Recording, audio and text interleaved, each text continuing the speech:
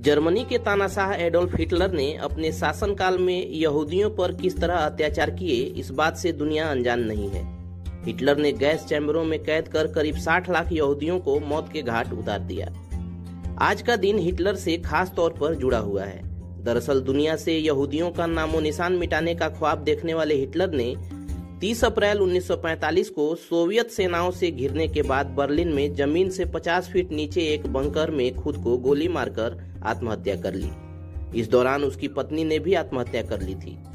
Hitler के अज़ीज़ दोस्त और इटली के तानाशाह बेनिटो मुसोलिनी की दो दिन पहले ही इटली में निर्मम तरीके से हत्या कर दी गई।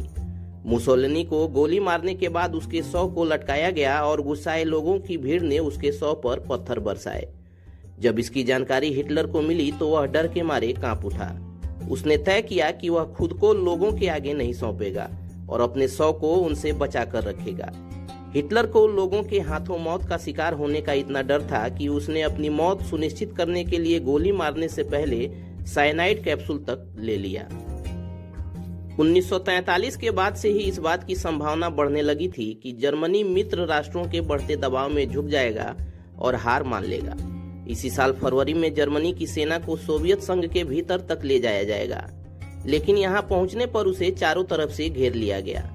जून 1944 में मित्र राष्ट्रों की सेनाएँ फ्रांस की ओर जर्मनी में दाखिल हुईं और जर्मन्स को बर्लिन से पीछे की ओर धकेलने लगी। जुलाई 1944 तक कई जर्मन सैन्य कमांडरों ने अपनी हार को स्वीकार किया और हिटलर को सत्ता से हटाने की साजिश रची, ताकि शांति से बातचीत की जा सके। जनवरी 1945 में बर्लिन के सोवियत संघ के कब्जे में जाने का डर पैदा होने लगा।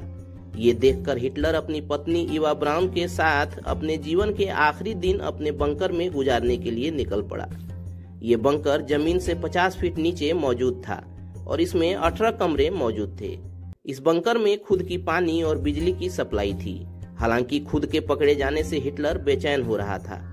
हिटलर लगातार हरमन गोरिंग हेनरिक हिमलर और जोसेफ गोएबल्स जैसे करीबी लोगों से मुलाकात कर रहा था और उन्हें आदेश देता रह रहा था। वहीं उसने मौत से एक दिन पहले ही अपने गर्लफ्रेंड ईवा ब्राउन से शादी की। हिटलर ने अपने आखिरी दिनों में एडमिरल कार्ल डोनिज को स्टेट हेड बनाया और जोसेफ गोएबल्स को चांसलर नियुक्त किया। इसके बाद वह ब्राउन के साथ अपने निजी क्वार्टर में रहने चला गया। लेकिन उसे लगातार सोवियत संघ द्वारा पकड़े जाने का डर सता रहा था। इसके बाद हिटलर ने अपनी पत्नी इवा ब्राउन और दोनों कुत्तों को साइनाइड का कैप्सूल दिया, फिर इस कैप्सूल को खुद भी खा लिया। इसके बाद उसने अपनी पत्नी संग गोली मारकर आत्महत्या कर ली।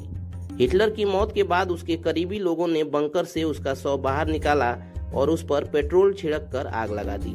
वहीं जब सोवियत सेना बंकर में पहुँची तो उन्हें सिर्फ़ राख ही हाथ लगी। चलिए दोस्तों क्वाराफ्लिक्स पर आज के इस वीडियो में इतना ही। जानकारी आप तक पहुँचती रहे, उसके लिए आप हमारे यूट्यूब चैनल को सब्सक्राइब कर लें और फेसबुक पेज को लाइक कर लें। साथ ही साथ अपने दोस्तों और रिश्तेदारों के बीच इस वीडियो के लिंक को शेयर भी करें। मिलते हैं एक और वीडियो में। तब तक keep searching for knowledge and try to be a kind person